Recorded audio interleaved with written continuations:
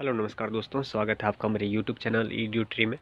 दोस्तों, आज के इस वीडियो में हम रॉलेट रॉलेट एक्ट सत्याग्रह के बारे में पढ़ेंगे जो कि गांधी जी द्वारा चलाए गए सत्याग्रह में से प्रमुख है। तो आइए रॉलेट एक्ट सत्याग्रह क्या था और किस विषय पर यह सत्याग्रह हुआ था, उसे आज इस वीडियो में समझते हैं। अगर आप इस चैनल पर नए हैं तो चैनल को सब्सक्राइब करना ना भूलें। तो चलिए, शुरू करते हैं आज के इस वीडियो को। 1917 में जो भारत में ब्रिटिश सरकार थी, उसने जस्टिस सिडनी रॉलेट की अध्यक्षता में एक कमेटी का गठन किया था,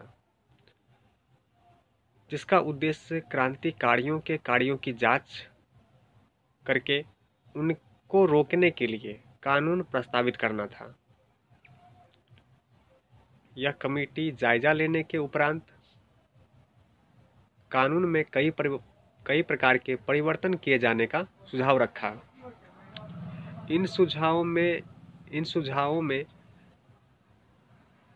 रखते हुए भारतीय सरकार, जो ब्रिटिश सरकार थी, ने राष्ट्रीय काउंसिल के सम्मुख दो विधेयक 6 फरवरी 1919 के दिन प्रस्तुत किए। ब्रिटिश सरकार का यह दावा था कि षड्यंत्रकारी अपराधों को रोकने के लिए यह विधेयक केवल अस्थायी आधार पर लाया जा रहा है। पर इसमें जो भारतीय क्रांतिकारी थे उन्हें इस पर आपत्ति था। चाहे वो गर्म दल से हो चाहे वो नरम दल, दल से हो।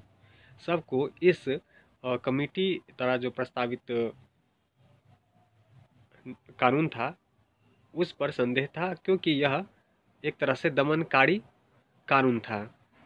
और इस यह किस प्रकार से दमनकारी था इसे आगे समझते हैं।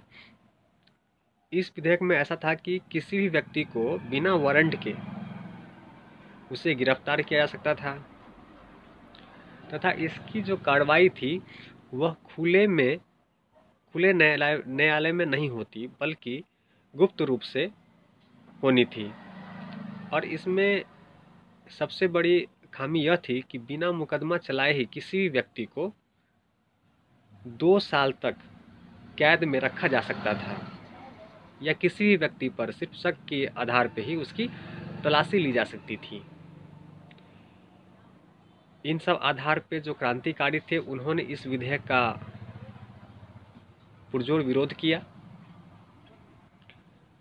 जिसमें गांधी जी प्रमुख थे। इसमें भारतीय राष्ट्रवादी की यह धारणा थी कि यह बिल गैर सरकारी और सरकारी जनमत को संतुष्ट करने के लिए लाए गए थे, जिसने कि मोंटेग्यू सुधार प्रस्तावों का विरोध किया था। सारे देश में इन बिलों की आलोचना की गई। गांधी जी ने भी इसके विरुद्ध अभियान छेड़ दिया। 24 फरवरी 1919 के दिन मुंबई में इन बिलों का विरोध करने के लिए गांधी जी ने एक सत्याग्रह सभा का आयोजन किया। इस सभा के सदस्य ने यह शपथ लिया कि अत्यंत ही सभ्य तरीके से जिनका की निर्णय निर्णय एक कमेटी द्वारा लिया जाएगा, इन बिल का विरोध करेगा। 6 अप्रैल 1919 को एक देशव्यापी आंदोलन की योजना बनाई गई। हड़ताल की सफलता विभिन्न क्षेत्रों, शहरों और ग्रामीण अंचलों में अलग अलग थी।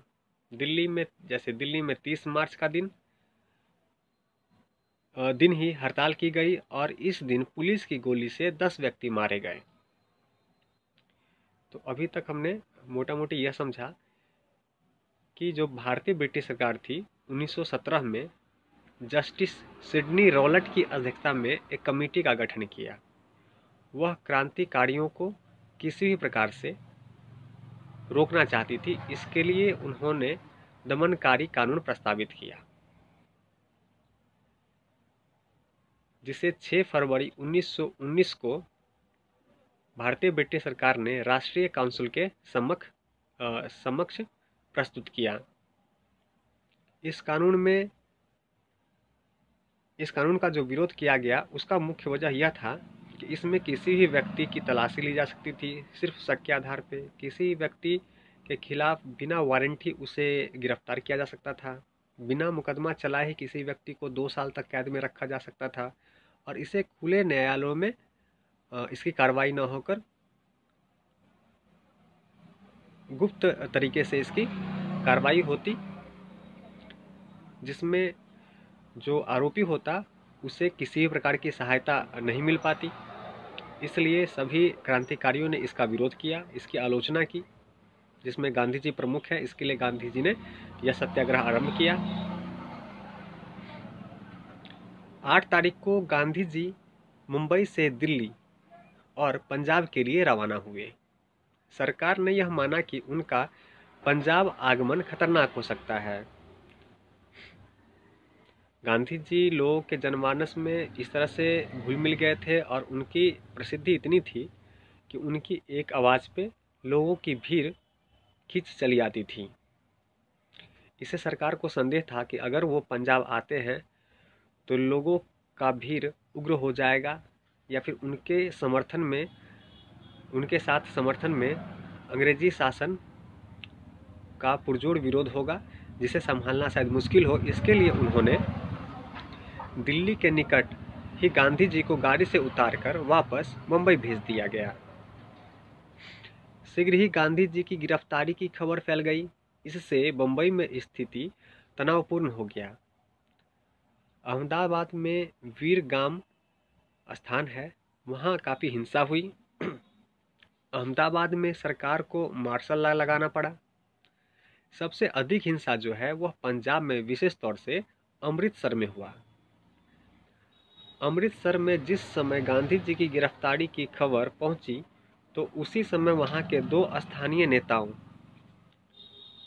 अमृतसर में जिस समय गांधी जी की गिरफ्तारी की खबर पहुँची, उसी समय वहाँ के जो दो स्थानीय नेता थे, डॉक्टर कीचलू और डॉक्टर सत्यपाल, उनको भी गिरफ़्तार कर लिया गया।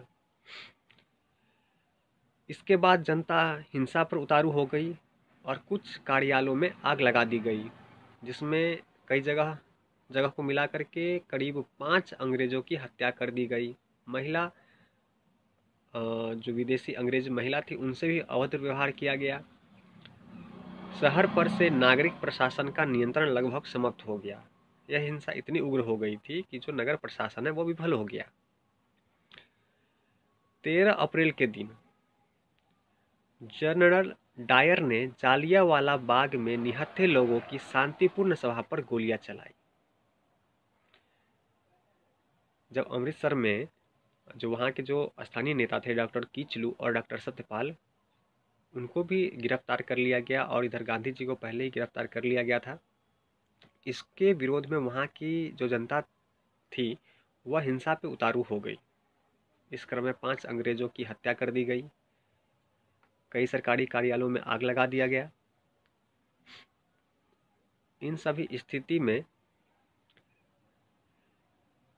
जो हम सभी जानते हैं कि जालिया वाला कांड हुआ था इसमें वह जो नाम था उस जनरल का जनरल डायर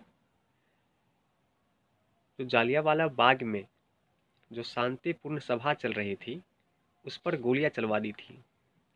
जबकि वहाँ के लोगों को यह नहीं पता था कि इस समय सभा करने का आ, सरकारी तंत्र द्वारा आदेश नहीं है। और उन्हें इस बात का आभास भी नहीं था कि ऐसा कुछ होगा, या सिर्फ़ शांतिपूर्ण ढंग से सभा करने पर गोलियाँ चला दी जाएँगी, ऐसा वहाँ के लोग सोच भी नहीं सकते थे। पर जनरल डायर ने ऐसा ही किया और वहाँ पे शांति से सभा कर रहे लोगों के ऊपर गोलियाँ चलवा दी। और बाद में वह माना, जनरल डायर बाद में यह मानता है और कहता है कि यह सब अनजाने में नहीं हुआ। वह लोगों को भयभीत करना चाहता था। इस वजह से वह सोच समझकर, जानबूझकर इस तरह की कार्रवाई की। सरकारी आंकड़ों के अनुसार इस गोलीकांड में तीन सौ उनासी व्यक्ति मारे गए, परंतु गैर सरकारी आंकड़े इससे कहीं अधिक थे। यह स्पष्ट है कि रॉलेट एक्ट के विरुद्ध चलाया गया आंदोलन किसी योजनाबद्ध तरीके पर आधारित नहीं था। सत्याग्रह जो है, सो केवल एक्ट के विरुद्ध प्रचार हेतु साहित्यिक प्रकाशित, साहित्य प्रकाशित कर रही थी। कुछ अखबार उसके खिलाफ अपनी बातें रख रही थी। एक संगठन के रूप में कांग्रेस कहीं पर भी नज़र नहीं आ रही थी। अधिकांश क्षेत्रों में जनता ने अंग्रेज़ी शासन के विरुद्ध अपनी सामाजिक और आर्थिक शिकायतों के कारण स्वयं हिस्सा लिया। क्योंकि इस कानून से काफ़ी लोग प्रभावित हो रहे थे। तो अधिकांश लोग इससे प्रभावित हो रहे थे तो उन्होंने खुद ही इसका विरोध और शिकायत करना आरंभ कर दिया। इस वजह से यह जो सत्याग्रह है, इतना विशाल ढंग से फैला था। इसमें कोई योजनाबद्ध तरीके से कांग्रेस ने इसका विरोध नहीं किया था, पर जनता इस कानून से त्रस्त होने लगी थी। सभी, मैक्सिमम लोग इससे अधिक से अधिक लोग इससे प्रभावित होने लगे थे, इसलिए उन्होंने स्वयं ही इसमें हिस्सा ले लिया था। एक बात स्पष्ट है कि गांधी जी द्वारा किए गए सत्याग्रहों ने विभिन्न वर्गों और समुदाय के लोगों को एक स्थान पर लाकर खड़ा कर दिया था। परंतु इस आंदोलन का सबसे महत्वपूर्ण प्रभाव यह निकला कि गांधी जी एक राष्ट्रीय नेता के रूप में उभरकर सामने आए। तो हमने अभी तक रोलेट एक्ट के बारे में पढ़ा। और यह बहुत ही आसान था और शायद इसे समझने में आपको कठिनाई भी नहीं हुई होगी। अगर आपको एक बार में यह समझ में नहीं आता है तो इस वीडियो को एक से दो बार देखें। बहुत ही आसानी से आपको यह समझ में आ जाएगा। तो यह जो सत्याग्रह था गांधी जी की एक सफलतापूर्ण सत्याग्रह साबित हुई। और इससे गांधी जी राष्ट्रीय नेता के रूप में उभर कर सामने आए। तो इस वीडियो में इतना ही। तो चलिए, मिलते हैं अगले वीडियो में इसी तरह के किसी इम्पोर्टेंट टॉपिक पर।